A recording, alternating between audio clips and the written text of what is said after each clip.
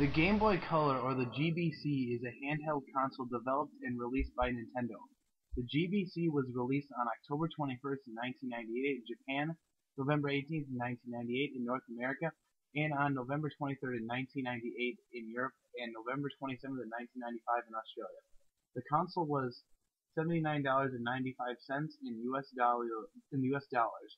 When it was on the market, the games that came out during the console's launch were Tetris DX, Super Mario Bros. Deluxe, Game & Watch Gallery 2, and Pocket Bomberman. When the Game Boy Color came out, the console came in berry, grape, kiwi, dandelion, and teal and atomic purple. Over time, there would be special Game Boy Colors that would hit the market when popular games came out. All Game Boy Colors were backwards compatible with Game Boy games. Size-wise, the GBC was slightly larger than the Game Boy Pocket. The color ran on two AA batteries that gave the console over 30 hours of power. The reason why the Game Boy Color is important is because the Color was Nintendo's first handheld console that played games in full color. The second reason why this console is important is because it is the first handheld console with backwards compatibility for Nintendo.